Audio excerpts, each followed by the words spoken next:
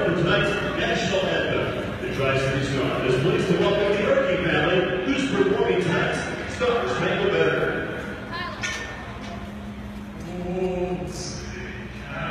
Can you see what